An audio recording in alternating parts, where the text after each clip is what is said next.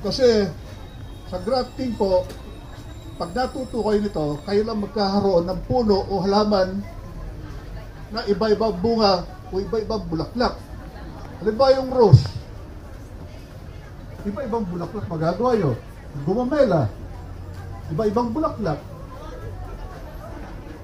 Ah, yung puno kahoy, iba-ibang bunga.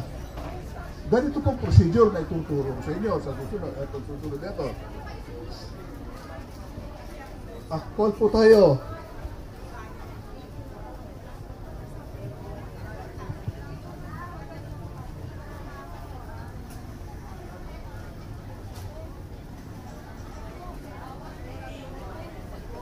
Ganito po pag-harvest ng sayon, mag-iiwan po kayo ng kalaykay niya.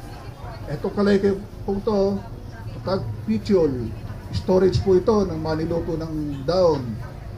Pag hinarvest nyo ito, etong sayon na ito, sa isang nabumungang puno, mag-iwan kayo. Kasi pag wala ito, madali pong matuyo. Basta below the leaf. Below the leaf. Yan. Mag-iwan kayo ng pichol kung ita-transport nyo. Pero pag hindi naman, pagkakuha sa puno, dugtong nyo, ganito na lang.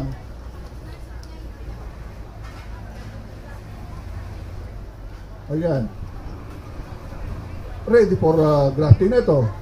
Okay? Ang variety po nito, chokanan na mangga. Ang mangga po kasing ito, ito lang namumunga ng tag-ulan. Na walang epekto ang ulan para siya mamunga. Mas gusto pa nga niya tag-ulan eh, para mamunga eh. Chokonan. Chokanan. Meron kaming dala. Nasa parking, kung gusto nyo. So, Gano'ng kalaki bunga yun, sir? Marami yung dalang ano, variety. bunga nito, sinlaki rin ng Carabao Mango. Kaya lang, mas matamis. Kaya ang isa pang pangalan ng Chokanan ay Honey Mango. Kasi napakatamis ho nito. Pag kinain nyo ito ng manibalang, parang hindi mangga. Kasi matamis. Pag hinog na hinog naman, napakatamis. Kaya ang ibang pangalan ito sa Google, Honey Mango. Asayon po, huwag po kayong lalagpas ng 6 inches. Pag nag, nag-grab po kayo na ganito kahaba, swerte mabuhay, pero katagalan mamamatay din. Pinaka-sure, ganito kaigsi. Yan. Ito po, ideal length, ideal height o taba. Ito po. Wag, Nagtataka kung ba't sinasabing, lagi ko narinig yung pencil tick. Hindi po. Hindi po pencil tick. Kailangan po, chopstick size. Babaguhin ko po yung connotation ng grafting na iba. Kailangan po, chopstick size. Kasi mas ma, mas marami ang success rate ng ganitong taba kaysa yung Pag ganito kalaki siya, hindi na siya. Hindi na ah, mataas na ang fail rate dito. Okay. Kasi ito, like ko napapanood sa YouTube, ganito. Ba nagtuturo, ganito. Hindi. At tagal ko na nag-grafting, ang success rate ko. Kasi ganito ang gamit ko. Para sa pakailaman ng lahat, alam niyo po yung mengguming. Yung mangga po na 3.4 kilos ang isang bunga na kasalukuyang may hawak ng Guinness uh, Book of World Records. Undefeated po yan, 2009 hanggang ngayon. Ako po ang authorized propagator. Kaya ako po nakakabuhay ng maraming mainguming. Ganito po ang nire-request kong sayon na nanggagaling sa iligan. Nandun po kasi ang puno nun. At ang rate of success ito, napakataas po. Halos walang nasasayang. So ganito, idudug po na, idudugtong po natin etong galing sa namumunga ng sayon. Sa puno na namumunga na. Idudugtong natin sa seedling galing sa buto. Okay? Ang tawag po rito, full stock. Tatanggalin po natin mataba.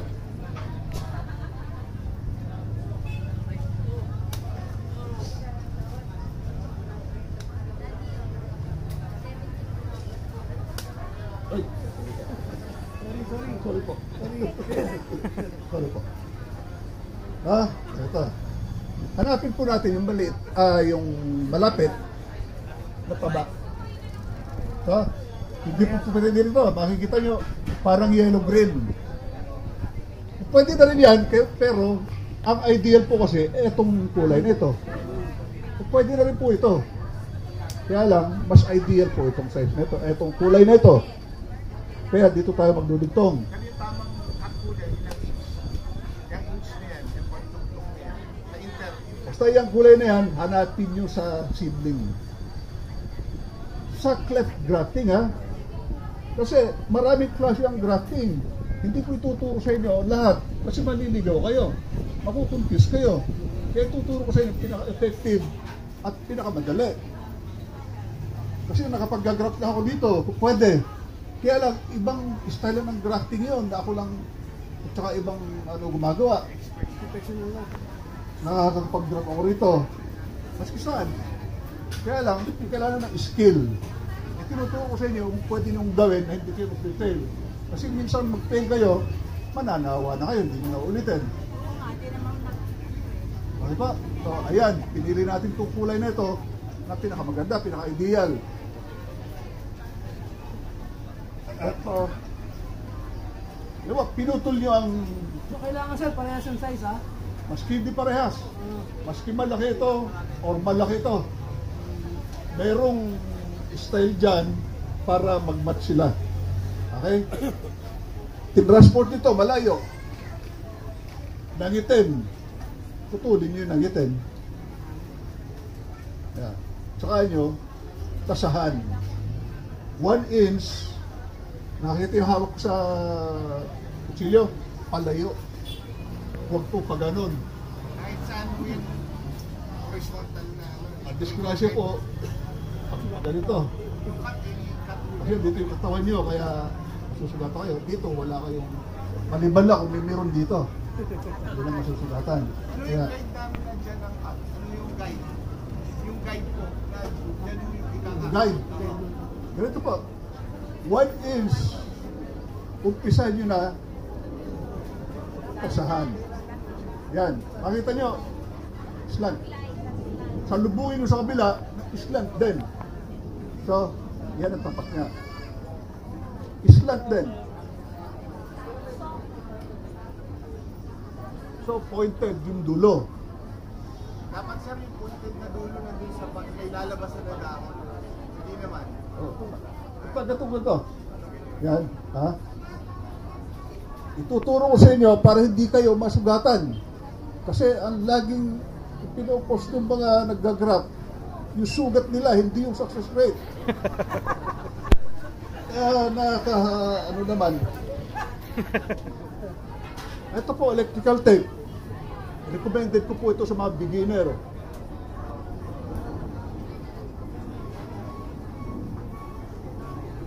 Ilagay niyo po sa isang daliri niyo, four, four finger.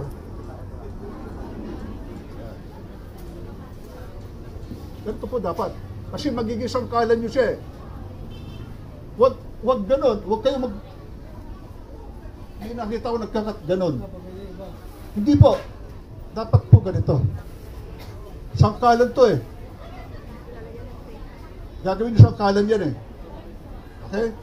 So, ganyan. Hatiin nyo sa gitna. Huwag po diretso. Ganito, bobombahin nyo. Slow pressure. Ah, low pressure lang. Huwag madiin. Konti pressure lang. Pero bobombahin nyo. Pababa. Ayan, bumababa siya mag-isa. Pero hindi matindi ang pressure na ginamit ko. Ayan. So, walang aksidente. Hindi ako nasugat. Mga ilang sir? I-parehas nyo dito. Yung pag-cut nyo rito, parehas dito sa tinasaan nyo. Okay?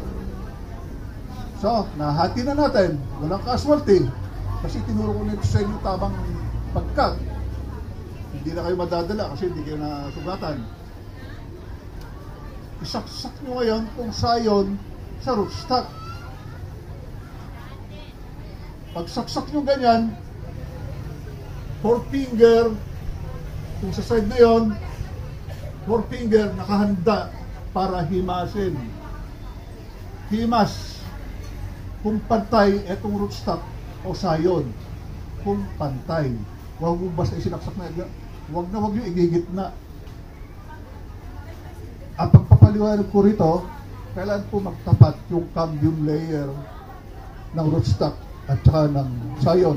Kailangan po magtapat sila para magpatuloy sila ng buhay. Okay? Pag nagtapat po sila, gagawa na siya ng kalyo para maghilom.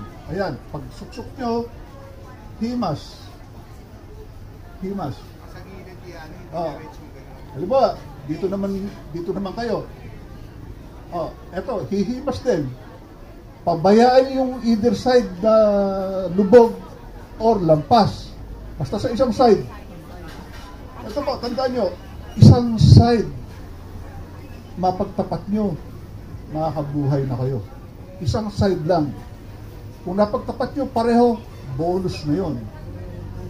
Mangyayari ho yun kung mas, mata, mas mataba ang sayon nyo kaysa rootstock. Magkabila po, patay. Bonus nyo po yun. Pero makakabuhay kayo, maski isang side lang. Fraction of a millimeter na contact ng cambium ng sayon tsaka ng rootstock, maghihilom na po yun. Sir, okay lang kahit pagbalik ka rin kung ganun yung gusto. Okay lang. Ganyan? O pwede. Oh, pag ganyan kasi, nakita mo yung curvature ng ano, yung kurba ng sayon.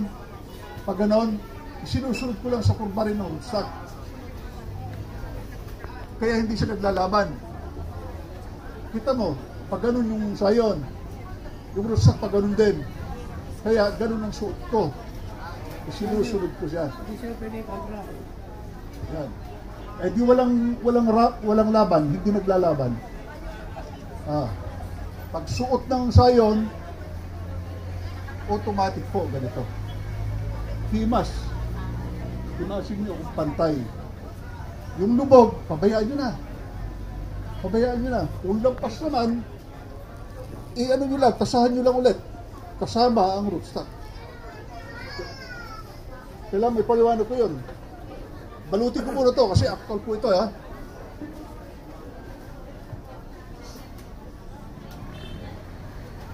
Pagbalot po, umpisa sa baba. Contrast uli ng spool. Pagkakaun. Yan. Umpisa sa baba. May tension po ha. Kaya po may arrow para po sa tension yan. Malaman yung contrast ng pagkakaun. O, pataas. Pataas. Paglampas nyo, one half inch or uh, clip, uh, one third inch, baba na kayo. Ulit. Mapapansin nyo, hindi ako tumuloy dito. Ibang grafter, tumutuloy dito. Tendency na yun eh. Kasi maglalagay din naman ako ng plastic ng ice candy. Para hindi siya matuyo eh. Kaya hanggang dito lang ako. Kanya-kanyang style po kasi yan. Kung saan ka biyasa, yun ay turo mo. Kasi tested ko to eh. Habang winuwudyok, pipigain nyo, isil. Para lalo mag-contact yung sayon tsaka yung isil. Ayan. Putol. Tapos na po. Yung ice candy, yan po yung ice Sa, candy. sa babaw. Ibabaw lang yun. Ice candy. Saan may ice candy, nakikita Susunod yun, susunod. Ah, okay. Ah, paano, paano? May ice candy rin ano. Susunod, papasok ko namin ayun. Ah, okay. Ano, babalutan pa kasi ng white tissue yun. Tapos na tayo. Paano ang gagawin para ito hindi matuyo? Kasi hindi ko binalutan hanggang dito sa taas ng grafting tape. Meron tayong ice candy na solusyon dyan. Ice candy wrapper. Isuot po natin. Meron na siyang greenhouse sa sarili. Ang humidity sa kanya, magsisirculate na lang. Pag summer, nilalagyan ko po ng wet tissue yan. Itong drop na ito. Para may bawi sa moisture. Kaya ako tatalian. Pag summer, kaya, ang grafting po, whole year round yan. Wala pong ano, bawal-bawal na panahon. Whole year round. Kung mataas ang moisture sa area niyon, mataas ang humidity, hindi ko na siya tatalian. Hindi ko na siya lalagyan ng tape ah, wet tissue dito. Ganyan na lang. After 20 days, at hindi siya nangitim, ano na yun, mataas ang percentage. At after 25 days, meron siyang shibol. Pag sumibol na siya maski 1 half inch, 3 inch, 1 inch, tanggalin nyo ng plastic. Tanggalin nyo na. Wala na pakinabang to. Etong grafting tape, huwag na huwag yung pakikialaman. Hanggang sa maghilom siya. Nakita niyo yung mga yan na specimen na pang-raffle natin mamaya, may grafting tape pa. Kaya huwag yung tatanggalin ang grafting tape. Okay? Question. Ito lang po. Sige po. Yung mga dahon, Gary, hindi kailangan na Ah, kung marami-marami, magbawas po.